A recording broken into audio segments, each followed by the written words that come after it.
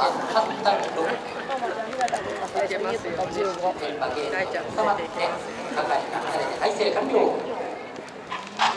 ートしましたあースタート前です少し押しながら力は1番のエール・ブリアンス間からはロンドンが前これにまた寄せしていった14番の次の外形を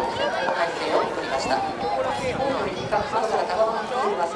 番手連れてかかってい。ったのが今アドラメネッテ1コーナーカーブまず先手を待ったのは5番本堂ドア1馬身2番手の位置ですが14番の国の外形がつけております3番手外から7番の長野パン内から半分差1番手2番手に合わせ直後12番のアドラメネッテ2コーナーから登場かけ直後ですが現在ボールが先走しておりますこれをご覧からです最内前県2番のプレミアバルサー10番のナムラスカルガスが一番は中段ですじわっと位置を上げようという敵が入っておりますが内から前県6番をつけましたオーリーブレイク追走ですさらにそのからはじわじわっと今ガラモディゴが動いていきましたガラモディゴ動いていきましたその後ですが3番のミルクセンスがいて外からはワイドコマンダーですそしてその直後ですがグレインブレイク後方から3頭目後方2頭ですが13番ランドジュニア16番マンカスタルモンという体勢です3コーナーカーブ3コーナーカーブで先頭は現在14番の国の来系ですは体半分2番手準決中2番のアーロベレンですが外から11番のゲキリゲキリが上がってまい。りました前3頭と固まりつつあります